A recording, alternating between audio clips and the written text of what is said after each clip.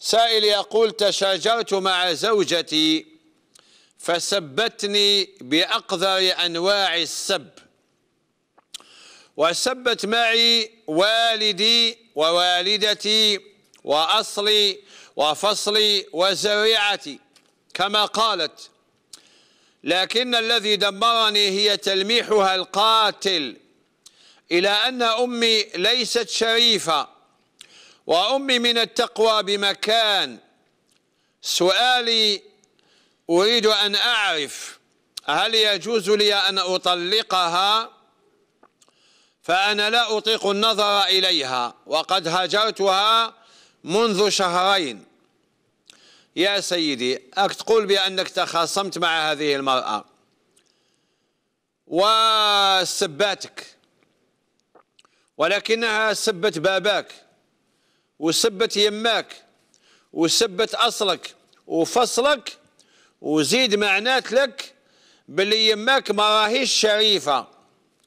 وهذه كارثة هذا يسمى قذفا قذفا في الشريعة الإسلامية عليها أن تقيم حجة أربعة شهود وإلا الشريعة تجلدها يجلدوها ثمانين جلدة.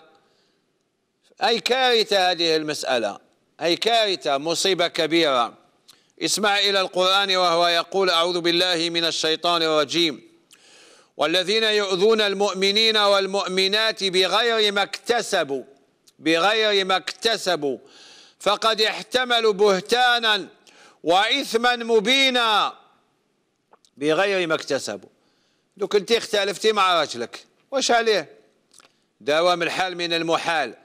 هذه عائلة ويختلفوا يختلفوا ولكن النبي عليه الصلاة والسلام يقول من علامات المنافق أنه إذا خاصم فجر. إذا خاصم فجر. أنت ما كفاش سبيتي راجلك. زدتي له يماه وباباه واصله وفصله اصله وفصله يعني الزريعة نتاعو. يعني أصله إلى آدم عليه السلام.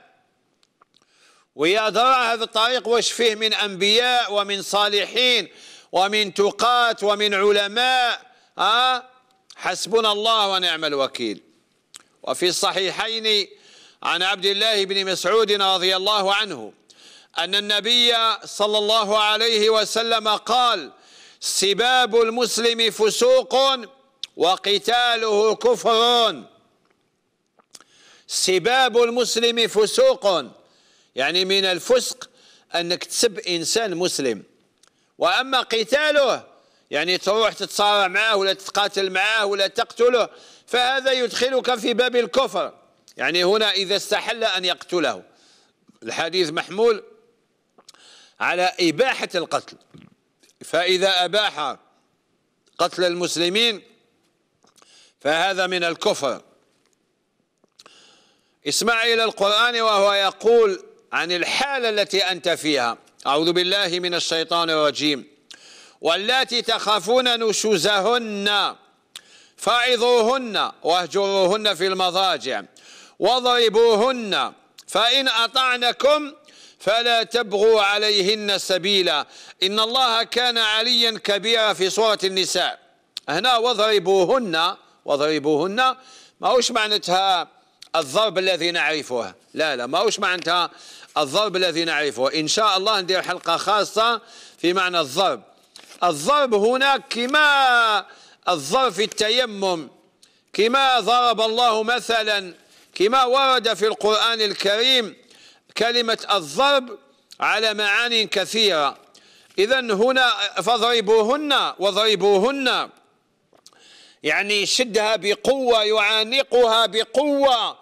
ويهزها ويقول لها اتق الله يا امرأة اتق الله أنا رايحين للطلاق. وتتشرد هذه العائلة ويتشرد الأطفال والبنات. هكذا يهزها هزا. ما هوش كما يفهمه الناس بمعنى يقبض مطرق ويضربها يضربها. لا الضرب ورد في القرآن آه، على عدة معاني ولم يرد بمعنى الضرب الذي نعرفه إلا إذا كانت هناك آلة. قلنا اضرب بعصاك الحجر. قلنا اضرب بعصاك الحجر. لما ذكر العصا علمنا أن هنا ضرب حقيقي.